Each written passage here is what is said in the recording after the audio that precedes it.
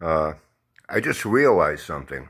I said yesterday that today I would show a kinder, gentler, softer, more compassionate side of Uncle Brian and offer Jabba some help. I kind of forgot about it. And now it just came to me. Originally, I was going to do something in a couple other areas, but now, since Jabba is going to be repainting the Bel Air I thought maybe this would be more useful to him. You know, I really doubt he has a spray gun, the hoses, the compressor, um, to paint a car the way it should be painted. And, you know, not out in a fucking driveway. But, hey, you know, he makes do with what he has and he has his own creative ways of doing things, you know, like how you do a brake job just spray paint the drums, you know. Uh, I doubt he will take a body hammer and a dolly and get inside and bang those dents out, you know, in any spots that are lifted up. Do a light grind on it to smooth it out. And then, you know, body filler is to fill in low spots, you know. But, you know, some things need to be banged out and then they end up with a high spot. You take it down with a grinder very lightly. And then you get your body filler on there. And then you block sand it. You know, you don't just take a piece of sandpaper in your hand and just go around rubbing like you're polishing furniture or waxing a fender. No, no. You get a hard substrate behind it so it's nice and smooth, you know.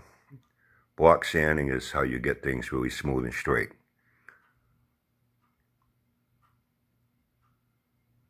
I thought maybe where he has his home methods of doing things like even he came up with the tool-less method of engine building where you don't need tools, don't need a torque wrench, don't need sockets, don't need box open ends, nothing. Because you don't torque things down. You don't tighten them down. You only tighten it hand tight. So that way, in case you have to take it apart over and over and over again, like Jabba has to do, you don't need a single tool. You can do it all by hand. So I thought maybe he could use this. Uh, it's almost empty. You'd have to empty out the rest, wash it all good. And I think I might have a Windex bottle around here somewhere. Now that one's clear. He'd be able to see his special blend of paint hardener and reducer while he's spraying. This one you can't, but you'll know, you know, you'll feel the weight that, you know, his special Jabba blender paint hardener and reducer is in there. And uh, the nozzle on both. I'll see if I can find a Windex one. I think I might have thrown it out. That's usually what we do with empty products.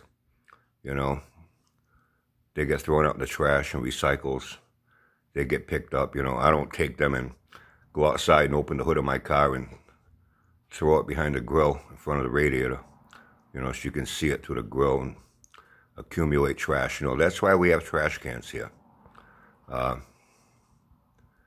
and the nozzle on both, you can adjust it. You can have a fine mist spray for wide coverage, or you can set it to a heavy stream and maybe that could help him out, save him a lot of body work with those dents, banging them out, block sanding it, filling it, block sanding it. You can just put it on the heavy stream and keep spraying in the dents until he's got a nice big puddle of paint there. And it fills up and fills up. And then when it's level with the rest of the fender, he stops. Now, the thing is, that will only work on the dents on the top. It won't work on the side because there is something called gravity and all that pulled up paint that he's spraying in there as he's spraying it, it's not going to fill up the dent. It's just going to keep running down the side, leaving all big, thick drips and streaks. So anyway, uh, you know, I said yesterday I was going to do something to help Jabba, and I wanted to keep my word, so I just did.